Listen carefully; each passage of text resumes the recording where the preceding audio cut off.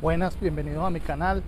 El día de hoy estaremos recorriendo las barberías en Katia, las barberías en Caracas, barberías en la calle, barberías informales, gente que decidió trabajar en la calle por lo caro que le salía trabajar dentro de un local, ya que le cobraban el 60% de lo que ganaban y el 40% que les quedaba a ellos aproximadamente lo tenía que dividir entre sus gastos y las otras cosas. Por esa parte, entonces tomaron la decisión de trabajar en las calles.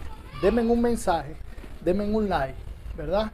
Y compartan el video.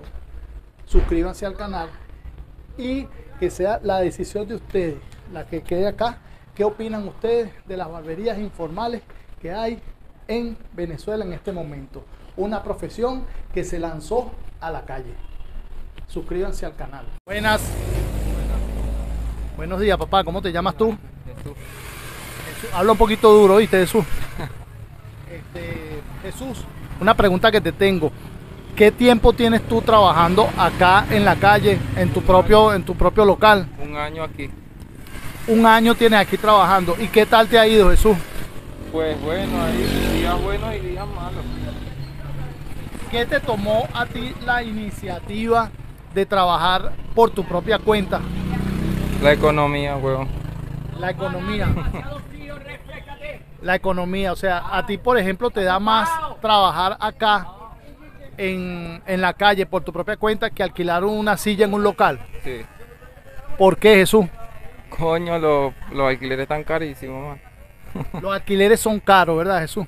Un aproximado, yo sé que tú me acabas de decir ahorita que hay días buenos, hay días malos. Un aproximado de cuánto haces tú en una semana acá en tu, con tu propio negocio. 100 dólares semanal.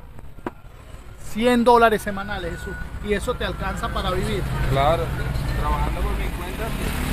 ¿Tú tienes hijos, Jesús? Y no mantienes a nadie, tienes tu, tienes tu casa propia. No, vivo ¿Vives con mi papá. Con mi papá. Bueno, aquí tenemos a Jesús. Jesús tiene su propia barbería, fíjense. Tiene su, su puesto de trabajo bien bonito y él trabaja por su cuenta. Esto es uno de los venezolanos que vamos a encontrar el día de hoy en la calle, trabajando por su cuenta. El por qué él trabaja por su cuenta, simple y llanamente, porque trabajar en un local, los dueños de los locales, los dueños de la silla, quieren cobrar más de lo que él puede ganar para él. Entonces, él tiene su propio emprendimiento y él se gana un aproximado de 100 dólares semanales. Él es un muchacho que hasta ahorita no tiene hijos, no tiene este, responsabilidad, vive con su papá y eso le alcanza. Por eso es que este muchacho es digno de orgullo de nuestra patria Venezuela. Él está trabajando aquí. Bueno, aquí estamos en otro local, en otro emprendimiento, otro local de otro venezolano que le está poniendo un mundo trabajando, otra economía, la economía que en estos momentos este, se está viendo mucho en las calles de Venezuela, que es la barbería, barbería, barberos venezolanos que no están trabajando en locales porque le básicamente le están cobrando demasiado caro el alquiler de la silla, el alquiler por los locales y todo eso y decidieron montar sus propias barberías en la calle. Pero son venezolanos que le están poniendo un mundo aquí en las calles de Venezuela. Para que ustedes se den cuenta que todo, el, todo lo que dicen de los venezolanos no es malo. Él se encuentra ubicado en la recta de, de los Magallanes, exactamente frente al centro comercial La Laguna. Bueno, aquí nos encontramos en el puesto de Richard Eduardo. Este, Richard, eh, básicamente, ¿qué te motiva a ti a trabajar acá en la calle? Bueno, decidí venirme a trabajar en la calle porque estaba trabajando en una barbería, pero era demasiado costosa la silla, pues. 30 dólares semanal y más el 5% por cada corte, pues. Entonces decidí, pues, arriesgarme en la calle a trabajar, pues, y a emprender mi propio puesto, pues, mi propio negocio, que es la barbería, y gracias a Dios me ha ido bien. 30 dólares semanales más el 5% del corte. Prácticamente estabas trabajando para, para el dueño del local. Y bueno, ya claro, es como tú dices, te tocó. Mira, Richard, ¿cuántos hijos tienes tú? Cuatro. Y vivo alquilado. Vives alquilado. ¿Cuánto es tu, tu promedio semanal de lo que tú haces acá? Eh, 100 dólares más o menos aproximadamente, día bueno. Día bueno. Día malo, pondré entre 50, 40, 30, dependiendo. Todos los días no son iguales, pues. ¿Cuánto cuesta un corte acá? Bueno, tengo corte de, de 2 dólares, 3 dólares, incluso hasta un dólar, porque ahí viene una persona de tercera edad y entonces le dice a uno, mijo, tengo un dólar, entonces siéntese abuelo, porque ¿qué más hacer? Es un abuelo y uno también va para viejo, pues. Y uno tiene que ser consciente y tener... Somos venezolanos. Estás en la calle, Richard. ¿A qué hora empiezas a trabajar tú? Ya a las 7 de la mañana estoy armando mi puesto hasta las 6 de la tarde. Empiezo a recoger, mantengo mi área limpia para mantener la acera limpia, a pesar que estoy trabajando en la acera. Trato de mantener todo limpio para no tener problemas ni con las autoridades, ni con la Junta Comunal, ni nada, y mantener todo organizado siempre. Richard, ¿tienes, eh, por ejemplo, algún día libre? ¿Te tomas un día para ti, para la familia? Tienes cuatro hijos, me dijiste. El domingo, por ejemplo, ¿qué haces tú los domingos? Los domingos trabajo, yo prácticamente trabajo de martes a domingo, de 7 de la mañana a 6 de la tarde, pues, porque los domingos son los más días que más trabajo y más género, porque los domingos las personas descansan para ya trabajar el día lunes, entonces en la mañana salen a hacer mercado, X cosas, y entonces yo aprovecho, y como los días lunes son un poco medio flojos, entonces yo decido descansar los, los días lunes, y como la situación, verbo, no está un poquito buena aquí en Venezuela, bueno, uno trabaja casi todos los días, pues. Algo que uno haga diario es algo, pues. Uno no se consume mucho lo que tiene guardado. Richard, una pregunta. ¿Por alguna circunstancia o motivo tú te irías del país? No, no, ni que me ofrezcan un trabajo en Miami, en United, en ningún lado. Prefiero quedarme aquí en Venezuela, pues. Que gracias a Dios tengo mi puesto, trabajo por mi cuenta y me va bien, pues no me puedo quejar, pues.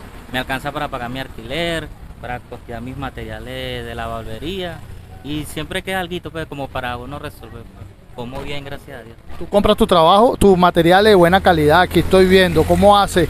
¿Te los traen a, a crédito o los, o, los, o los compras tú por tu cuenta? ¿Cómo hace? Bueno, normalmente yo agarro diario, que un corte de cabello puede ser 3 dólares, 4 dólares, dependiendo de lo que cueste el corte que yo haga. Entonces lo voy ahorrando diariamente, pues. Entonces mensualmente eso me da una cierta cantidad. Ponte, si son un dólar diario, son 30 dólares. Y yo que guarde 3 al mes, es algo. Pues entonces eso saco un inventario de todo lo que tengo y lo que me falte, de ahí saco poquito y voy y compro el material. Pues. Richard, hay, este, yo he visto por las calles que hay muchos muchachos trabajando en la calle. Este, eso es motivado a lo que tú estás diciendo de, lo, de los puestos de, de, de, las barberías y todo eso. Sí, a pesar que habemos muchos barberos en la calle trabajando porque es muy costoso trabajar en una barbería, pues hay que pagar 30 dólares semanal la silla, más los materiales que tú tienes que comprar, más las máquinas, entonces si te pones a sacar la cuenta, es bastante es bastante caro pues y entonces no te da la base como vivir alquilado comprarle la ropa a los chamos el colegio la merienda y entonces eso es costoso pues. Entonces a cambio uno trabajando en la calle uno se ahorra un poquito más la cuestión pues.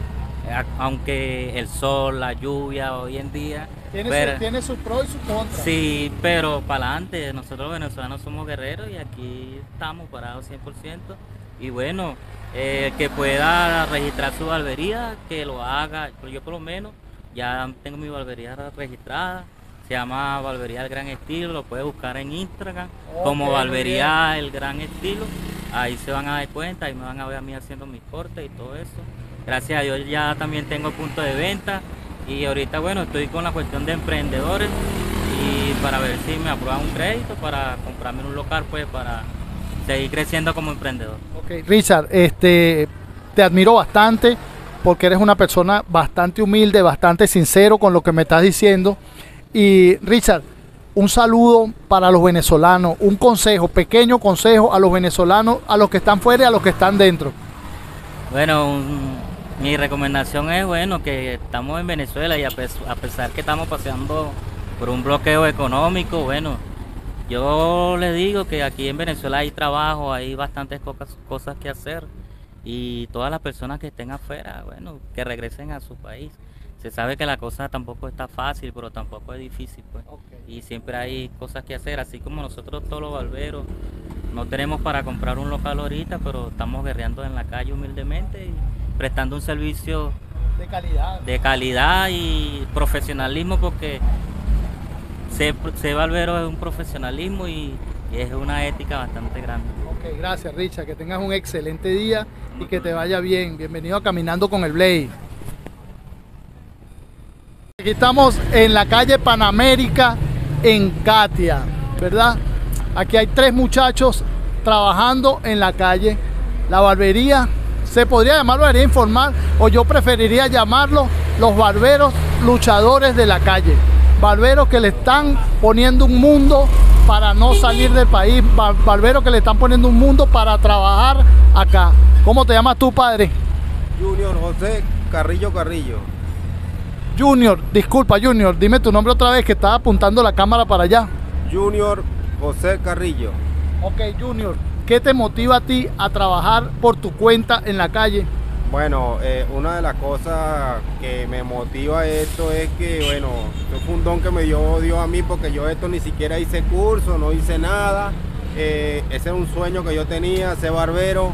Eh, trabajé también en una peluquería y bueno, de allí no me dieron los resultados y bueno, me lancé a la calle como quien dice a trabajar y gracias a Dios me, va bien como para cubrir los gastos necesarios de mi familia que son dos niños, mi mamá y bueno, ya mi pareja no está, pero ya con mis dos niños y mi mamá, pues. Y gracias a Dios, pues bueno, acá siempre nos va bien, tanto a mí como a todos mis compañeros y de verdad no tengo nada que decir de mis otros compañeros porque ellos también tendrán la oportunidad de hacer este video acá con usted y expresar lo que ellos lo que ellos sientan en el momento.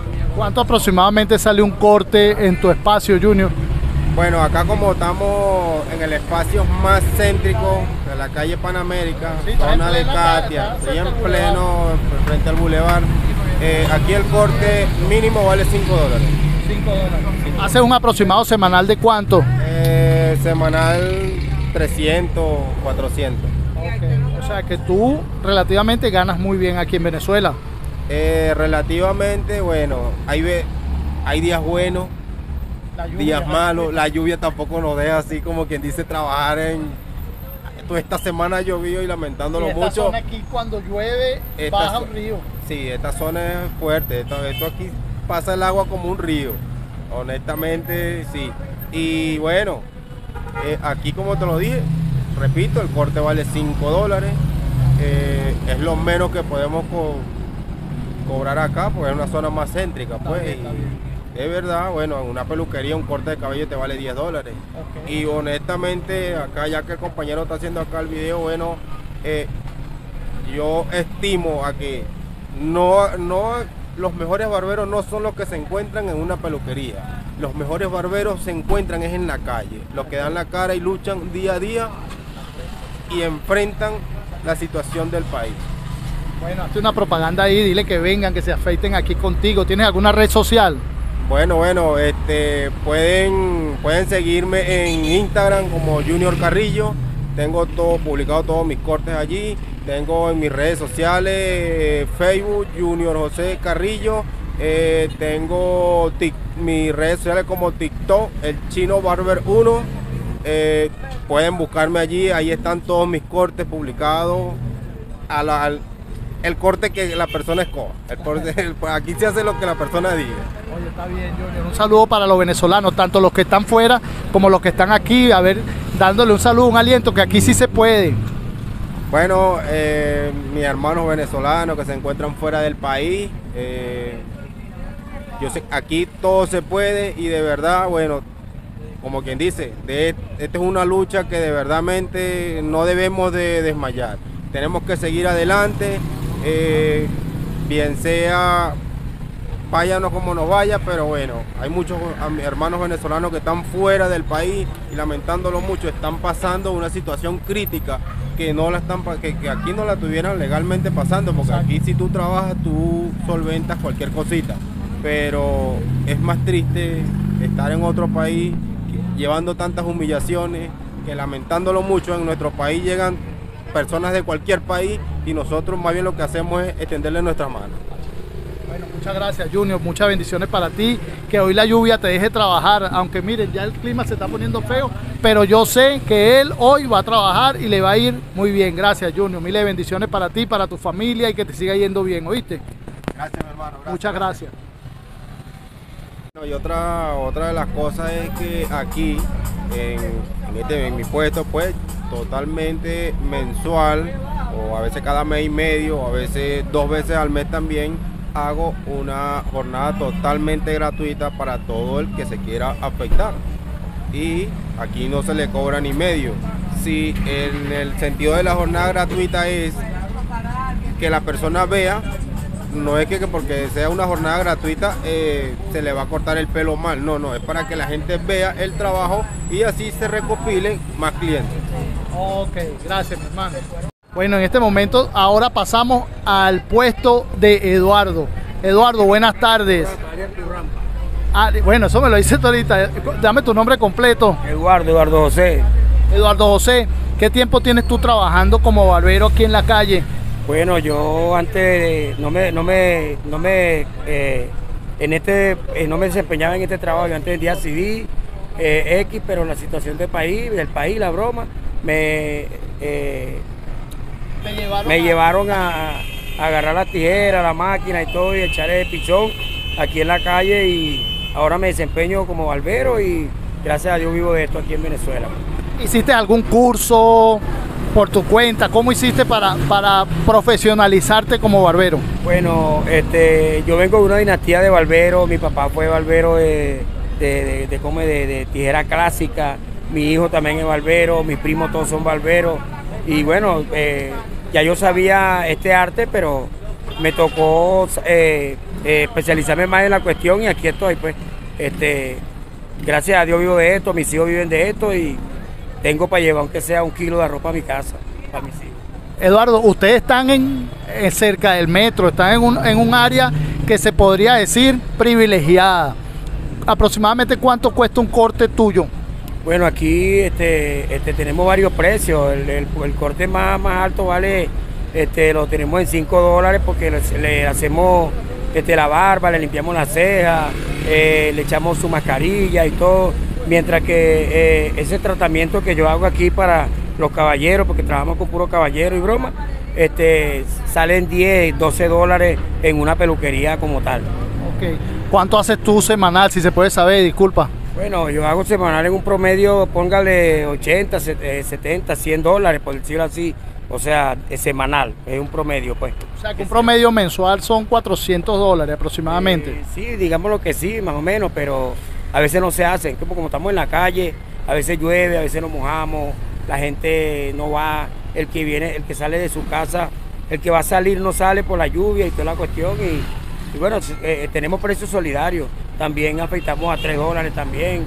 Lo que son la gente, de la, la, persona de, la tercera edad, pues le cobramos 2 dólares y así estamos, pues. Porque estamos para ayudarnos, pues estamos en la situación país, bro. Eduardo, ¿por qué no trabajas en un local?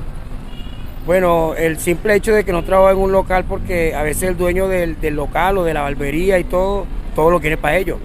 O sea, un 60 para ellos y un 40 para nosotros y así no, así no cuadra. Y el 40 tuyo tienes que comprar todo tu material. Tenemos que comprar que si la cera, el, alcohol, el cuellero, la gelatina, todo eso, o sea, los implementos que lleva la barbería. Entonces uno como tal para brindarle un buen servicio al cliente, nosotros en la calle compramos todo eso y el cliente se siente eh, eh, eh, a gusto con el trabajo de nosotros y por eso es que estamos aquí en la calle y por eso es que no trabajamos en barbería. Yo veo que aquí tú estás, tienes todas tus provisiones, ah, todo eso. Ahora, Eduardo, ¿tienes alguna red social? Este sí, este, en el Facebook me llamo el negro Eduardo Torres. El negro Eduardo, Eduardo Torres. Eduardo Torres el negro. Eduardo Torres el negro. Así en Instagram no tiene. Igual, igual. Tito también me llamo igual. Ok, bueno, un saludo para esos venezolanos que están por el mundo, que también están luchando por allá. Así como ustedes están luchando aquí, ellos están luchando por allá. Bueno, yo le digo a todos esos venezolanos emprendedores que están fuera del país que, que se lleguen, que Venezuela tiene la puerta abierta para todos, que aquí todavía hay. Aquí tenemos la bendición de Dios y si, y si algunos en otros países, a, pesar de, los bloqueos y la cuestión y todo, aquí estamos rey todavía. Aquí el flow es el que se muere de hambre. Aquí yo le digo a esos venezolanos emprendedores que vengan, que le eche pichón aquí, porque aquí esta es la tierra de, cómo es eh, eh, una tierra sagrada, la tierra que va leche y miel, como dice la palabra. Así que yo les invito a que lleguen a Venezuela otra vez, lleguen a su tierra, que aquí lo vamos a recibir con los brazos abiertos. Ok, muchas gracias Eduardo por tu tiempo, de verdad. Y bueno, vengan acá a esta barbería. Estos muchachos están aquí luchando y de verdad, y hoy luchan contra, hoy, hoy tienen otro, otro, otro problema que es el clima. Aproximadamente a las 5 de la tarde empieza a llover. Vamos en este momento a entrevistar a, ¿cómo te llamas tu papá?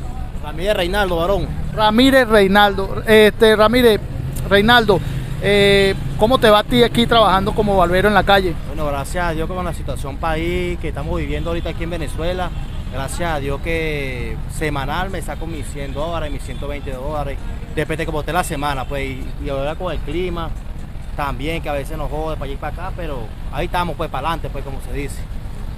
Eduardo, ¿por qué, eh, eh, Reinaldo, perdón, ¿por qué no trabajas en un local tú? No, lo que pasa es que si trabajamos en un, en un local hay que pagar silla. Y la, y las sillas son 60, 70 semanal. Y yo me gano 100 aquí, me va a quedar 40, voy a tener que darle más, más dinero al, al local que, que para mí. Pues entonces aquí en la calle, así todo, todo lo que me quede para mí, lo que gasto es en material, en hojilla, en alcohol, ¿me entienden? En materiales. Bueno, Eduardo, de verdad, mira, gracias por tu... Es Reinaldo, coño, disculpa.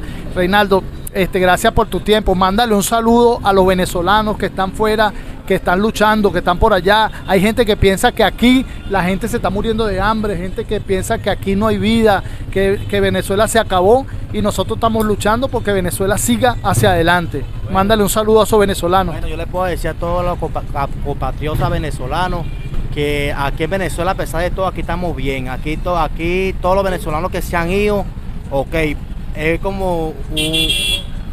¿Cómo te explico? Todos los venezolanos que se fueron, me, me de pana de corazón, me da tristeza por todas las cosas que han pasado, hábitos muertos, los emigran en otro país y que veneco. Yo tengo, yo tengo dos, dos hermanos en los Estados Unidos y gracias a Dios que a ellos les da bien por allá, pero lo poquito que yo he tenido es el esfuerzo y lo único que les puedo decir a los venezolanos, aquí en Venezuela, hay Venezuela para rato y estamos súper mejor.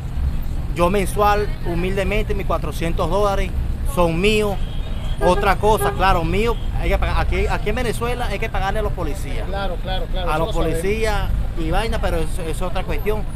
Pero en verdad me, da, me, me duele de corazón que bastantes compatriotas venezolanos que se han ido para fuera del país están pasando todo lo que están pasando. Pero aquí en Venezuela para rato, aquí uno, mira, con solamente decirte, yo pesaba 60 kilos, ahora peso 107 kilos.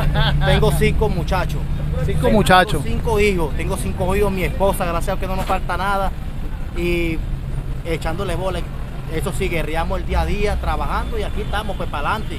Y yo no cambio Venezuela por nada. Y Aquí han visto un primo mío se fue porque ganaba 30 dólares, bueno, allá él no tiene hijos, bueno, que le vaya bien, pues, ¿me entiendes? Pero yo no cambio Venezuela por nada. Venezuela es Venezuela. Tenemos, tenemos, tenemos todo lo, como todos los componentes que se dice selva, mar, todo, todo. Gracias a Dios aquí estamos para adelante, Venezuela para rato. Y le digo a todos los venezolanos, a aquellos venezolanos que se fueron, que conozco mucho, que si me llegan a escuchar ellos van a saber quién son. Que no, que yo me voy de Venezuela porque paso hambre, paso esto. Es como emigrando a Venezuela, eso es mentira. Ahora están súper sufriendo por allá, que se quieren venir y no hayan cómo. Exactamente. Y aquí estoy yo. Tengo dos hermanos en los Estados Unidos. Y si ellos me llegan a ver, yo sé que sí me van a ver, porque yo, yo se lo digo. Gracias a Dios que le va bien, pero aquí vemos venezolanos pero de guerra. Y los que quedamos aquí en Venezuela somos puros perros de guerra, ¿me entiendes? Y lo único que les puedo decir, vénganse sin miedo, que aquí Venezuela para rato. Ok, muchas gracias, mi hermano. Y espero que te vaya súper bien. Amén, y bueno, que de verdad que la lluvia los deje trabajar hoy, porque de verdad, miren, esta calle, cuando llueve, baja bastante agua y se inunda agua todo. El agua. O sea que ustedes luchan contra la policía, contra el agua, contra todo. Máquina, se me dañó un secador con la lluvia. Ok, Y bueno. ahí para adelante, aquí estamos. Tengo Bueno. siete años aquí trabajando. Siete años aquí trabajando. Ellos trabajan exactamente en la calle Panamérica. En la calle Panamérica, como quien va a salir hacia la laguna. Aquí pueden encontrar variedad de cortes. ¿Ok? Muy buenas tardes. Gracias por seguir mi canal. Ah, bueno, en este momento nos encontramos llegando aquí en la calle Bolívar. En la calle Bolívar, antes de llegar a la bomba, frente a lo que es el centro comercial El Lago. Tenemos aquí, dime tu nombre, por favor. Josué Cabello. Josué Cabello. Josué, ¿qué te, qué te, qué to- ¿cómo tomas tú la decisión de trabajar la barbería en la calle? Eh, la tomo es más que todo por el, por el sueldo que yo tenía donde, donde trabajaba. pues. ¿Eras barbero? No, yo antes eh, trabajaba de, de protección civil en Tazón. Ok. Era funcionario de protección civil. ¿Hiciste algún curso? Eh, ¿cómo, ¿Cómo te hizo esa inquietud de ser barbero? No, yo no hice curso para esto, sino que esto ya, yo tengo mucho tiempo trabajando esto. y Poco a poco, más que todo lo aprendí fue por, por afectar a los hijos míos, pero a medida de que el sueldo no me daba en la, donde yo estaba trabajando, me tocó, pues, sí, me tocó trabajar en, ¿Cuánto cuesta un corte aquí en tu puesto? aquí en mi puesto ahorita estamos cobrando 4 dólares. Ya con la, con la barba como tal, salen 5. Aproximadamente cuánto haces tú mensual o semanal, cuánto haces mensual, pues. Si a un aproximado como tal, no te sé decir. No, lo que, yo lo que agarro es para el día a día, ¿me entiendes? Eh, un día se puede hacer, hay días buenos como no tan buenos. Me imagino que ahorita con la lluvia los días Con la están llu- no, no tan rudo, tan fuerte. Pero sí se hace, que sea uno o dos cortes al día. Ok. Los días más o ¿Te menos. da para vivir? ¿Cuántos hijos tienes tú, Eduardo? Eh, Josué, amor, Josué, Josué, ¿cuántos hijos tienes tú? eh, tengo tres. Tienes tres y te alcanza para, para mantener a tus hijos. Oye, ahorita estoy con uno solo. Ok. Porque los otros dos están con, con su mamá, pues. Ya vaya tú, ya el mayor se- ya está en la Fuerza Armada, Ah, ok, es sargento. El segundo ya ahorita va para la universidad y el tercero que viene conmigo, porque es más pequeño. ¿Qué consejo le das tú a los venezolanos, a la juventud, venezolanos que están fuera, verdad? Que de repente piensan que aquí ya todo se acabó, que no hay vida. ¿Qué consejo le das tú a la juventud venezolana? Bueno, hermano, yo lo que sé es que trabajen, hermano, que luchen por sus sueños y, y que quieran progresar, porque no todo está No todo es fácil. es fácil. Ah, No todo en la vida, bueno, incluso muchos años, ah, muchos años atrás, me acuerdo mi papá que también fue, fue, rudo, fue rudo en su tiempo. Y todavía, ahora estamos, eh, como quien dice, buscando la manera de sobrevivir, echarle bola. Así es, trabajar como es. Bueno, muchas gracias, hijo. De verdad que hoy les vaya súper bien. Y bueno, que la lluvia lo deje trabajar, que me, me he enterado que la lluvia ha estado demasiado ruda acá en Caracas. Muchas gracias y bendiciones, hijo. Bueno, y así despido el programa de hoy de Caminando con el Blade, que lo hicimos recorriendo las calles de Katia, recorriendo las calles de Caracas en las barberías. Muchachos que están trabajando en la barbería en la calle, ya que en los locales les cobraban muy caro. Y de verdad es injusto que los que están trabajando son ellos y los locales se están llenando. Recuerden suscribirse al canal de Caminando con el Blade. Muy buenas tardes. Bendiciones para todos.